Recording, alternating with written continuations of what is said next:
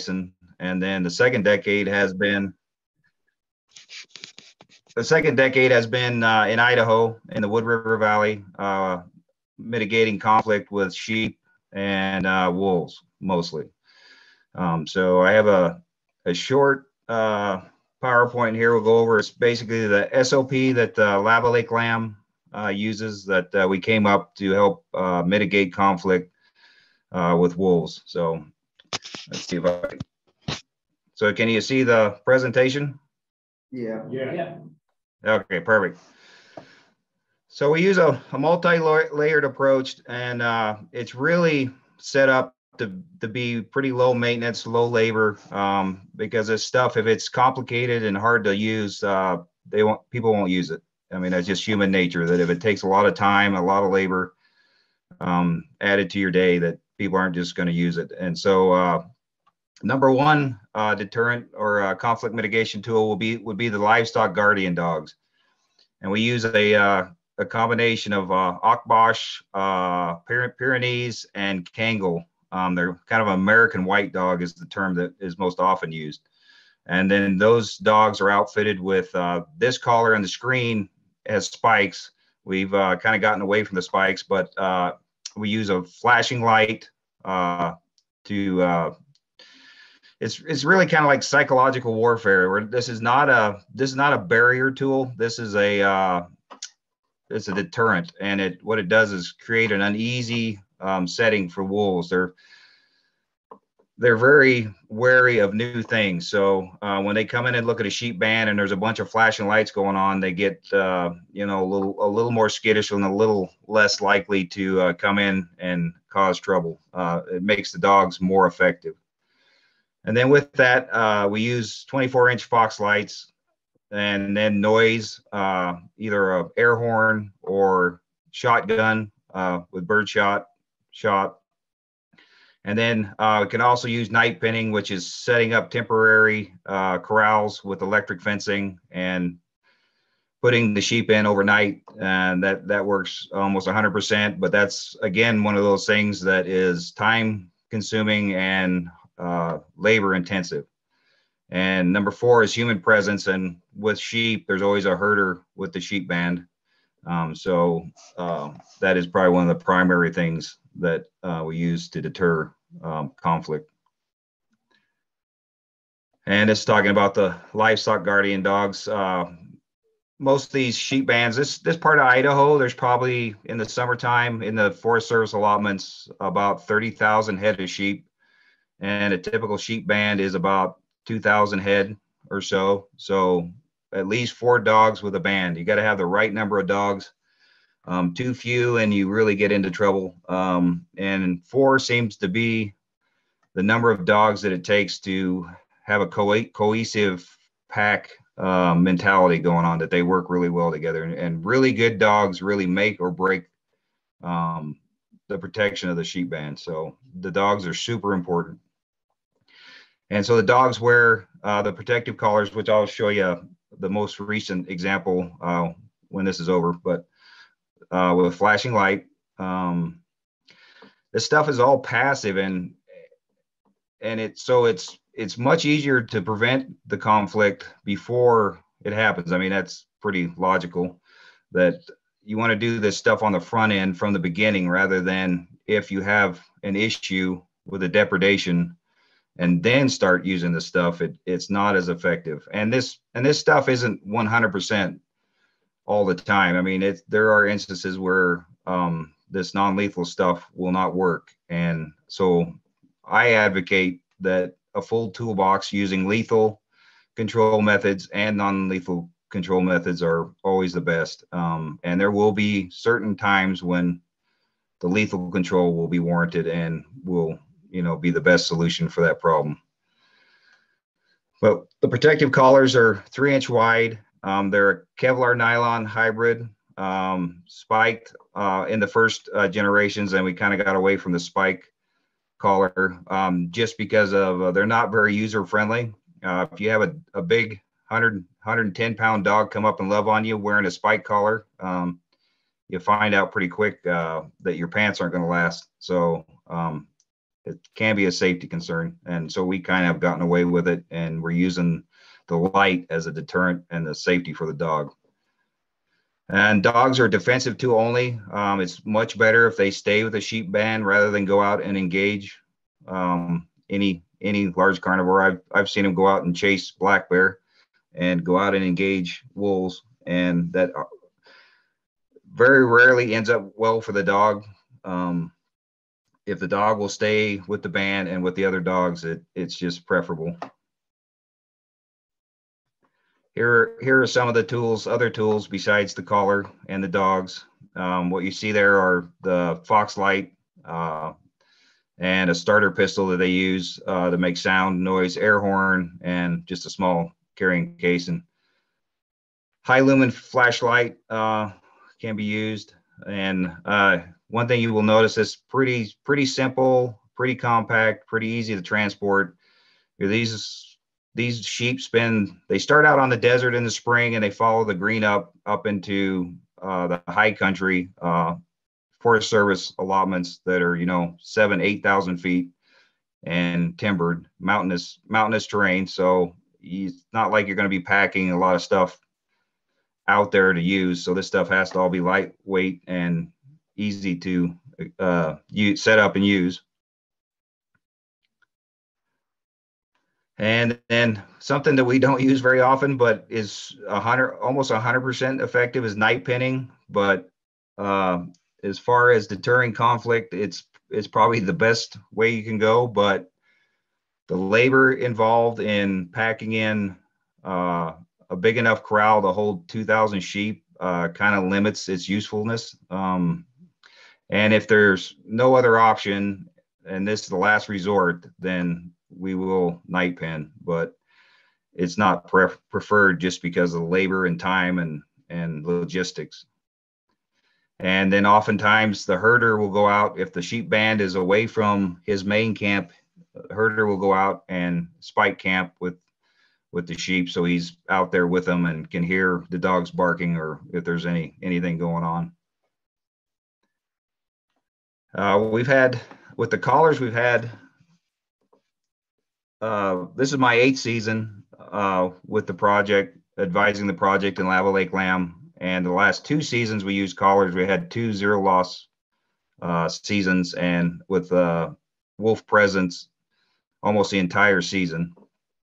And part of the reason we know that it was working pretty well is I put a GPS uh, location device on one of the dog collars.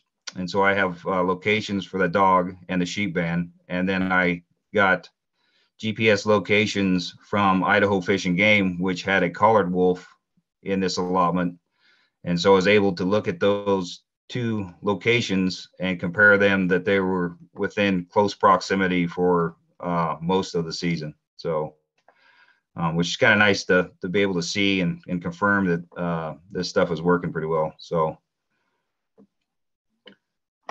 and like I said, the gear has got to be ultra light, portable, and uh, we we're trying to refine stuff down to its basic form so that the very minimum is needed uh, for conflict mitigation. Um, let's see. I don't know if this will play or not. Here you can see this is one of the first generations of collar. Had a single red and went to a, a single blue flashing LED which I prefer because uh, canines um, are thought to see uh, the blue spectrum or ultraviolet spectrum better. And so we went with blue in the end.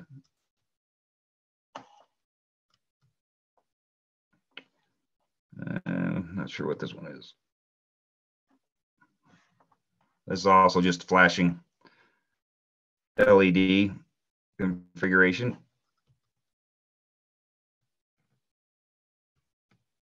And this is a picture of the solar fox light that we use. And like I said, these are not these are not barrier tools. They won't stop wolves from coming in, but they set the mood.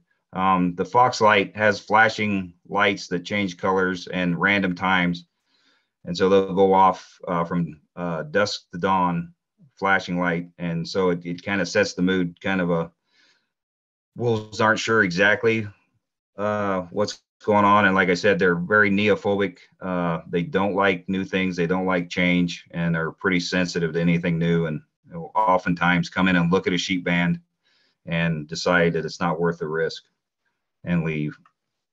And this is another picture of uh, fox light in the field. Keep them pretty short, uh, modified uh, fence post, uh, plastic fence post, um, so they're easy to, to carry and, and put up. And I believe that's the end of the PowerPoint. Yeah. Hey, Kurt, uh, are there any questions? Uh, I was gonna ask with the flashing lights, do those ever affect the sheep at all at night or the actual guard dogs or? Yeah, that's a that's a good question. I often get that. Uh, the sheep don't care, and I often jokingly say that I don't think they're smart enough to to uh, know the difference, but that's just my opinion. Uh, they don't they don't really they don't notice it. It doesn't spook them, um, and they don't really seem to care. Now the guard dogs, the collars we use are weighted, so it's at the back um, of their head. So I'm sure it affects their night vision uh, to some degree, but um, they don't really mind it either. They don't really, uh, they don't seem to mind it anyway. I, it's hard to really say, but they they go they do business uh, as usual with the collars on. And most of these dogs are used to wearing a heavy spike collar because that was really what we used in the beginning was just spike collar for protection. And uh, here's Here's one of the collars with the, these are wheel spinner lights. Uh, let's see. And they're motion, they're motion activated. Interesting. And it's just a big, big, heavy dog collar. It goes on the dog. It gives some some bite protection, but really the light is what we're counting on for keeping the dogs and the wolves uh, apart. Um, the wheel spinner light is a light that uh, Wildlife Services came up for ear tags with, and uh, it's really cheap. And uh, it's supposed to go on a valve stem on a wheel, and uh, for decoration, I guess when people drive, then it spins. And uh, so we we were able to adapt that to the collar and and then also some ear tags for cattle. This this particular ear tag glows in the dark. I don't know. You probably can't see the the eye, and then it also has a. This one's not flashing, but it.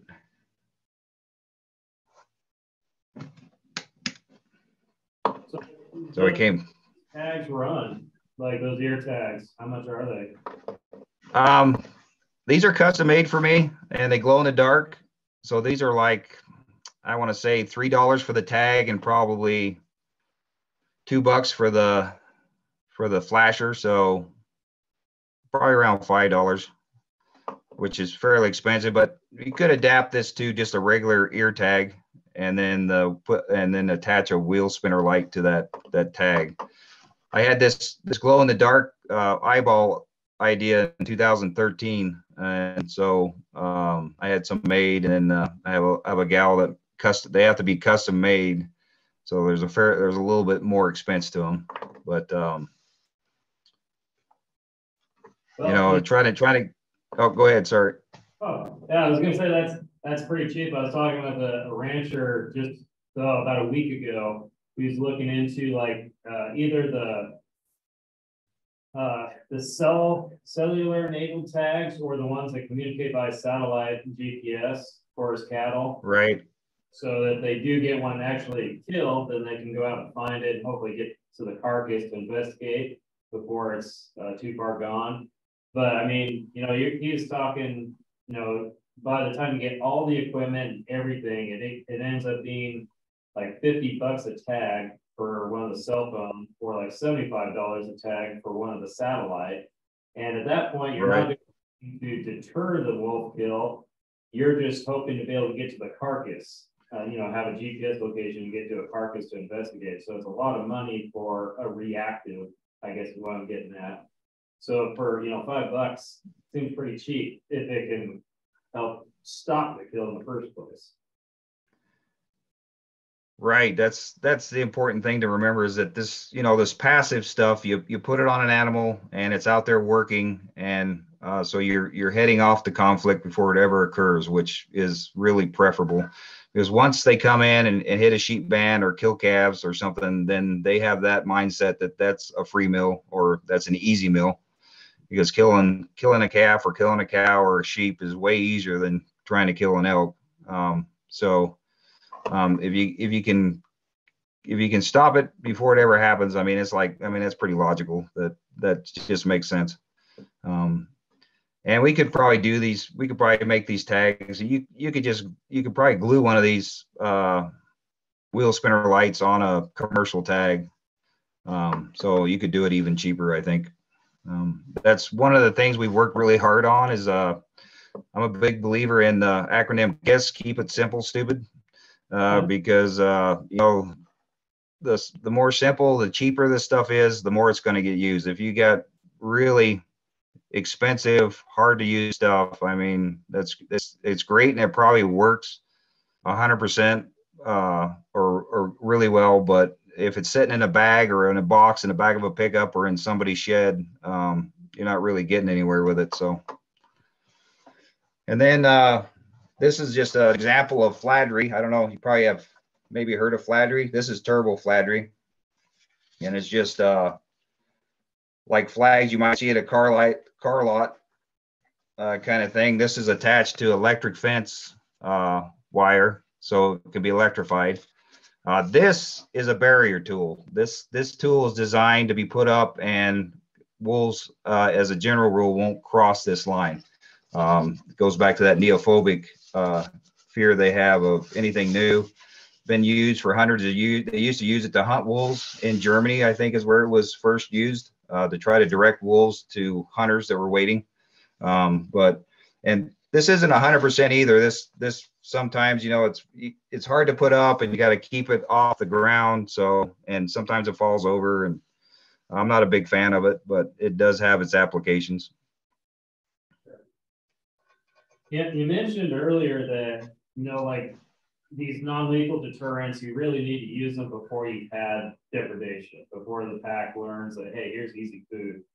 So, I right. mean, if you're in a situation where you've already had issue with depredation, what would you say is the best course of action for a rancher at that point?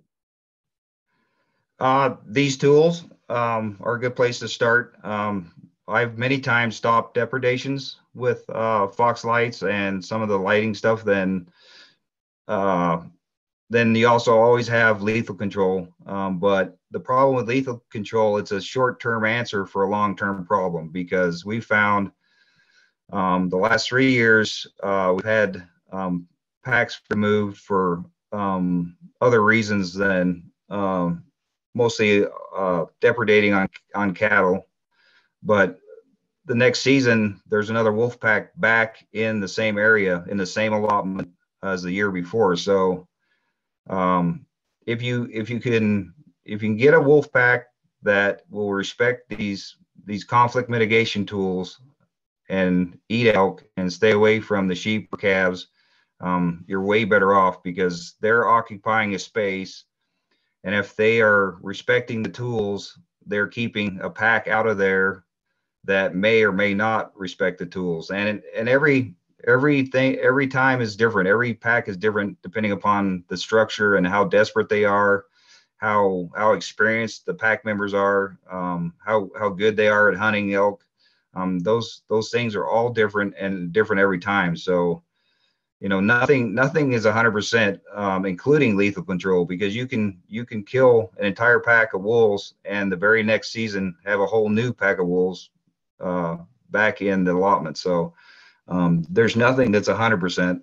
But um, to get back to your question, I've uh, many, several times had uh, a depredation event. Uh, we deployed, um, and the depredation event was caused by us being lazy and not not expecting wolves to be where they were, and so we weren't using any of the proactive passive stuff. And so that's on us that we weren't doing our job.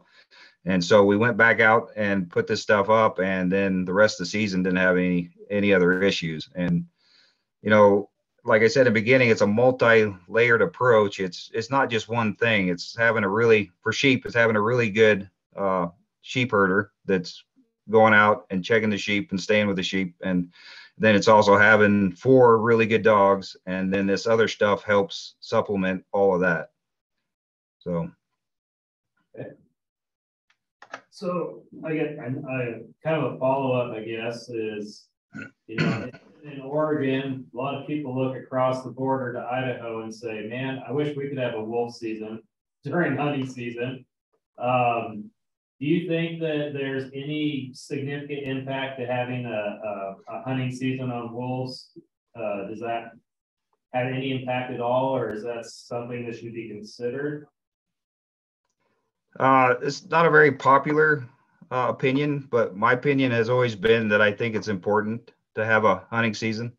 Uh, before 2000, I think 2010 was the first uh, time that they had an open season uh, on wolves. And um, before that time, the herders would tell me that wolves are are less scared of human presence. Uh, they would see them all the time. They'd be during the daylight hours, and then after hunting season, a few seasons, they became uh, less easy to see. You don't see them, rarely see wolves uh, out in the allotment um, unless they're coming and, and the dogs alert you that they're checking out a sheep band at uh, dusk or dawn. You might get a look, but um, they they all feel all the herders feel that that made a, a sizable impact um, on their fear of humans. Which I mean that's pretty logical. That's pretty easy to put those two together.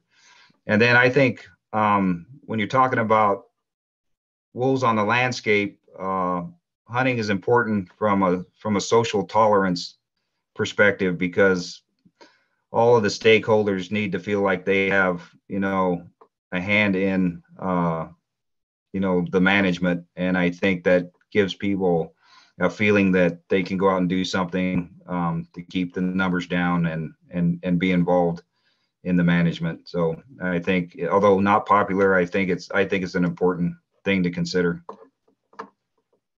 Thank you. Any other questions, you guys? I can't think of any. All right. Um, then I got I got one more tool okay. to show you real quick, and then that's pretty much my spiel. But this is a sound deterrent. It's a uh, it's a Bluetooth speaker basically, and all this all this stuff I built off of Amazon. You can you can order it off off of Amazon, so it, you don't have to buy it uh, from somebody. And then using a uh, a simple Walmart cell phone, just a throwaway phone that you buy at Walmart to run an app, running a, uh, recurring alarm app. This might be loud. I'll warn you now. So this is going to go off in a minute. But anyway, it's it's solar chargeable. Uh, the charge in the field. It's a uh, it's a sound deterrent, and you can deploy it in the field. It'll go off. You can set the alarm to go off once a minute, all day long, all night long, or at intervals or multiple alarms. Um, supposed to go off at 9:29, so we got a little bit here. Um, but it's pretty loud. Um, and you can build one of these off of Amazon, eBay for about 400 bucks. Uh, and then I adapted it to be solar chargeable. So it's just another tool in the toolbox, I suppose. Yeah. Pretty neat. So do you just have it set up so it goes off like kind of like random times then? Yeah, um, the ra- it is not random, but you can set multiple alarms so it can go off every 15 minutes uh, from dusk to dawn or every half hour so you can set multiple alarms to go off together. And of course didn't work this time so. But it's uh it's pretty loud uh and we can use uh uh, whatever you know anything you can load on your phone for a sound you can use uh, on on the on this app. So it seemed like uh,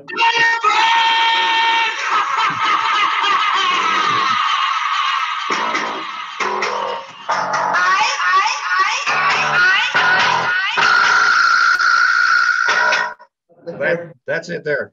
I was just gonna say, I was pretty sure I remember seeing a video where he had a crazy train.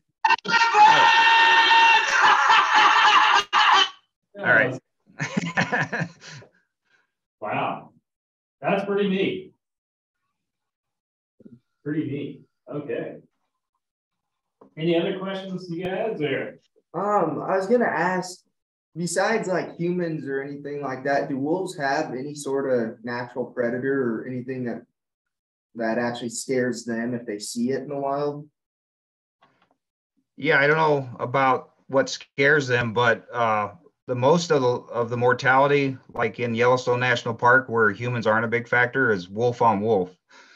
Um, wolves are very territorial, and they they uh, they get into skirmishes all the time, and and they uh, that I don't know if they're really scared of another pack, but they definitely respect borders and territories, and so uh, that would be the the biggest factor other than humans uh, that they look for. So, um, yeah.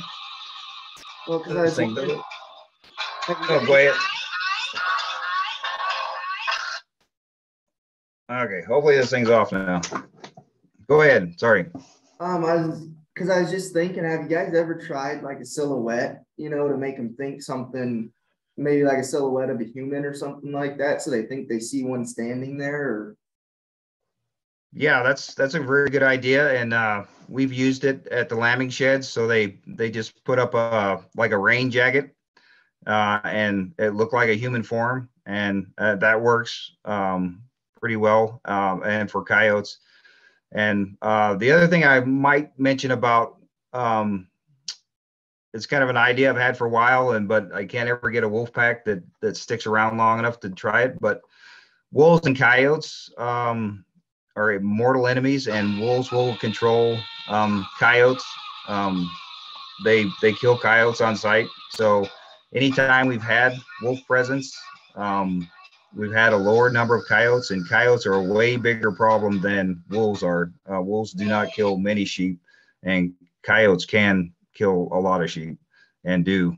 Um, so you know, using a more natural management style, I'd really love to have a a stable pack that is respecting conflict mitigation tools um, that you could use to mitigate some of the conflict uh, with coyotes that um, lessen their numbers and then also elk. Elk do a lot of damage to hay and haystacks.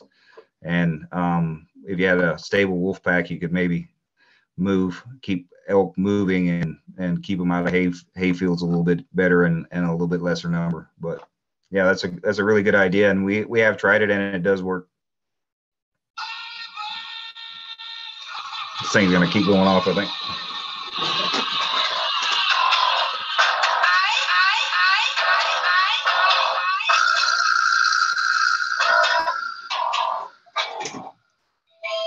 All right, should be powered off now. Sorry about that. That's all good. All right. Any other questions, guys? I think that's all of mine. Okay, well, we really appreciate, uh, Kurt, this has been very interesting, very fascinating. Um. And, uh, really appreciate you got somebody like you out there, uh, doing this work to try to help ranchers out, cause. It's, it's challenge and, uh, so we, it's. Really nice to know that somebody's out there trying to help out. Yeah, we- we're working at it, and it's a big issue, and um, you know, I think the cheaper we can get this stuff and the easier to use the passive stuff, uh, the more it's going to get used, and and maybe the less least uh, lessen the conflict a great deal. And I really appreciate you inviting me um, out to talk to you guys, and uh, you know, public speaking and uh, presentations aren't my strong suit. Doing the field work is, but uh, enjoyed talking to you fellas this morning. Right, okay, sounds good. Thank you, Kurt, and hopefully Yep. have you back again next year if you're up Yep. for it. Yeah. Anytime. All right, sounds good. Take Yep. care. Yep. Nice to meet you guys. Nice to meet you as well. Yep. Mhm. Bye. And we'll see.